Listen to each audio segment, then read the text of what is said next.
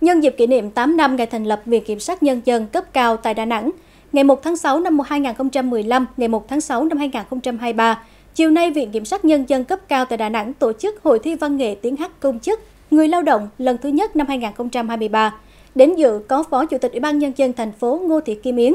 Hội thi nhằm tạo ra sân chơi bổ ích, thúc đẩy phong trào văn nghệ sĩ sôi nổi giữa công chức, người lao động trong các đơn vị, thông qua hoạt động văn nghệ để cổ vũ tinh thần đoàn kết vui tươi, hăng say lao động, sáng tạo của công chức người lao động, góp phần nâng cao hiệu quả công tác, chuyên môn nghiệp vụ, hoàn thành xuất sắc nhiệm vụ chính trị của ngành kiểm sát nhân dân đã đề ra.